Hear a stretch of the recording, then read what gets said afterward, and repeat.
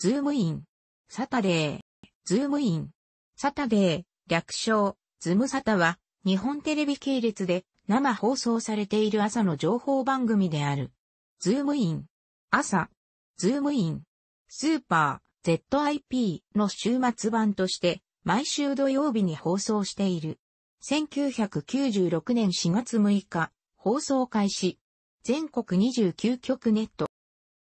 時間としては、過去に放送していた NNN 庁のニュースとの後枠で在京キー局としては当該時間帯発の情報番組である。中継の企画やお天気リレーは関東地方と制作に携わっている機関局札幌テレビ、中京テレビ、読売テレビ、福岡放送のある地域と日テレの稽古局で行っていた。しかし、2009年4月からは地方からの中継が今日の点キャメラマンがあるだけとなり、事実上不定期となったが、2011年3月をもって廃止された。ハイビジョン制作ではあるが、機関局の中継は中継車からの映像が標準画質である場合が多い。放送回線はハイビジョン対応のため一部お天気カメラなどの映像はハイビジョン映像で放送されている。2009年3月28日まで本番組は天気予報など一部を除き差し替えはなく、原則全ネット局5時59分、JST 開始で放送されていた。ただし、中京テレビでは編成の都合上、放送開始の1996年4月から半年間のみは7時30分で終了していた。一方その中でも、テレビ大分は最初の1年間は放送されていなかったが、後にフジテレビが目覚ましテレビ週末号開始と同時にれまでのネット番組の代替番組として1997年4月5日に本番組のネットを開始した。このため、テレビ大分はその1年間のみ土曜朝の全国ニュースの放送がなかった。2009年4月4日からは本番組の前に放送していた朝天サタデーを統合する形で5時30分からの2部制の放送に移行する。また同時にこれまでの開始時間である5時59分に飛び乗り点が設けられ、さらに一部地域での編成見直しのため6時28分、第2部開始時刻にも飛び乗り点が設けられることになった。詳しくはネット局参照。2011年4月1日からは、本、番組スポーツコーナーを担当していた増田一が総合司会を務める ZIP がスタートした。ZIP の名前は、 Zoom In、People、Zoom In。People の略で、あ、位置的には、朝から続く、ズームイン。シリーズの3代目であるが、ズーム及び、ズームインの表示は番組中に一切登場しないため、初代、朝。2代目、スーパーは一括りの扱いで、完全に切り離されている場合が多い。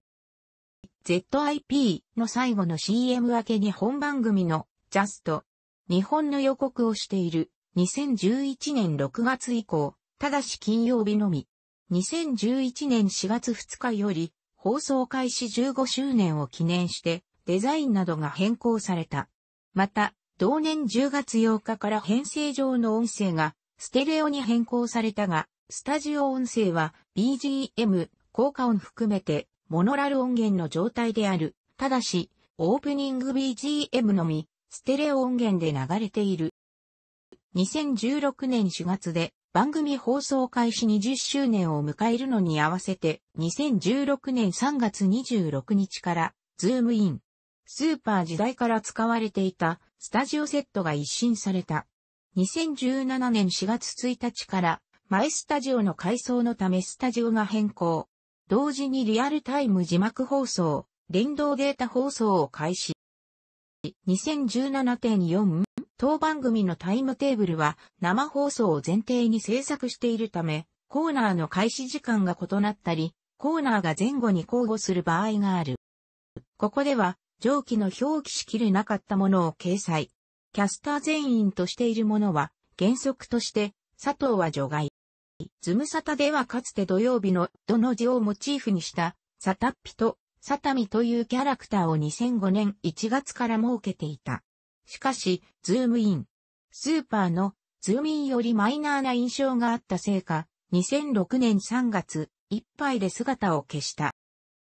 その後、サタッピ、サタミに代わるキャラクターが2006年4月29日から登場。ズームイン。スーパー同様、鳥をモチーフにしたキャラクターで、ズーミンチャーミン、以下、略称、ズーチャーと表記のいとこという設定。体毛は2006年4月からのタイトルロゴと同じ、緑色でサングラスをつけており、ズーチャーより足が長く、お腹に ZS と書かれている。当時の司会者である藤井の左利きをイメージしているため、ズームインのポーズもズーチャーと違ってサウで行っており、藤井も左手でポーズしていた顔立ちは着ぐるみや CG では常時、目のところをにっこりとさせている。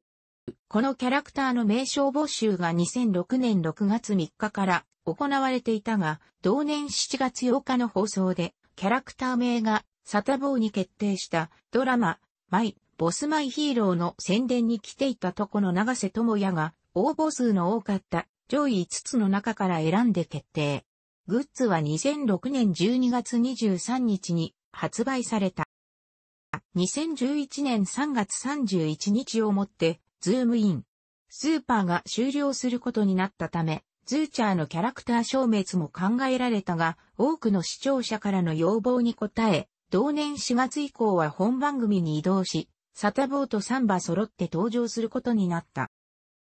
2016年3月26日をもって、ズーチャーは番組を卒業。その際、辻岡アナから、ふるさとの鳥の島に帰ることになったと説明され、お別れの挨拶をした後、赤いカーテンの鳥の島の入り口に入って飛び立ち、絵本の中に入るアニメーションが挿入される演出で締めくくられた。ズームインは、ズームイン。スーパーから約13年、チャーミンは約10年活躍し続けた。サタボーのみ、番組続投。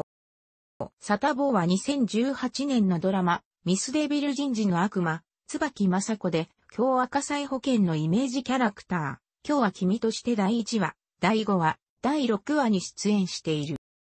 出演者を親しみを込めて呼ぶことが多い。国木田カッパのカッパちゃん、さんのような使命の名を呼ぶのがほとんどである。しかし、バード羽鳥、ヤッシー矢島、ターボ藤井、エース上重、義堂辻岡、モッチー、モチズキといったニックネームがズムサタの独自性と言える。司会者のニックネームについては、福沢は番組開始以前から名乗っていたジャストミートを使用し、ハトリは番組開始時に公募したが、応募件数が少なく結局福沢からバードでいいんじゃないと名付けられた。矢島以降は番組で公募し、ズムサタ終身名誉顧問である原辰則に決めてもらうことが恒例となっている。辻岡については公募はしたものの、最終的には福沢から提案された義堂を原が気に入り決定した。熱血情報に頻繁に登場する巨人軍の選手やコーチ、監督は番組内でズムサタレギュラーと呼ばれており、その中ではさらにズムサタの地位を持つ者がいる対談選手含む。しかし、上記のメンバーの多くは遺跡や対談などで巨人軍を去ってしまい、この地表現が使われる機会は激減している。